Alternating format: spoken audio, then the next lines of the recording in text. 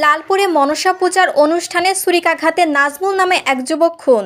নাটোরের বিশেষ প্রতিনিধির পাঠানো তথ্য সিটে দেখুন বিস্তারিত।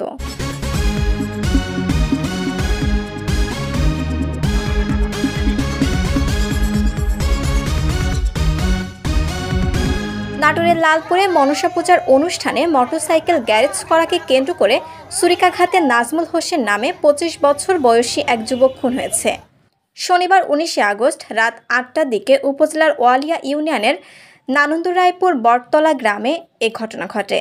নিহত নাজমুল হোসেন নানন্দ রায়পুর গ্রামের আব্দুল আজিজের ছেলে। তিনি পেশায় একজন কসমেটিক ব্যবসায়ী ছিলেন। স্থানীয় সূত্রে জানা যায় নানন্দ রায়পুর গ্রামে সনাতন ধর্মাবলম্বীদের মনসা মন্দিরে মনসা দেবীর পূজা উৎসবে মনসা পূজার অনুষ্ঠান চলছিল। শনিবার রাত আটটার দিকে নাজমুল হোসেন মোটরসাইকেল নিয়ে মোটরসাইকেল গ্যারেজের সামনে যায়। এ সময় গ্যারেজের কর্মচারীরা নাজমুল হোসেনকে মোটরসাইকেল গ্যারেজ করতে বলে।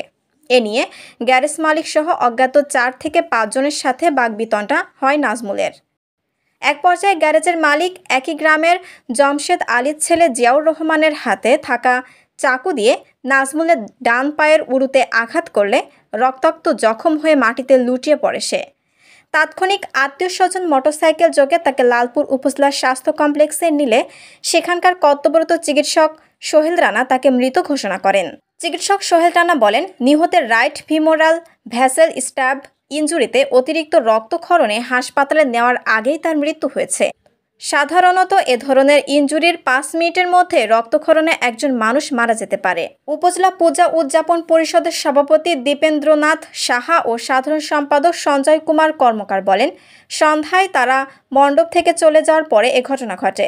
লালপুর থানার officers in charge OC Mohammad Ujjal Hossain ঘটনার সত্যতা নিশ্চিত করে বলেন, খবর পেয়ে পুলিশ মরদেহটি উদ্ধার করে থানায় নিয়ে আসে।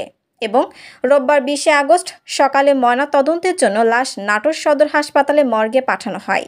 এ ঘটনায় একটি মামলা দায়ের হয়েছে। অভিযুক্তদের গ্রেফতারের অভিযান শুরু করেছে পুলিশ।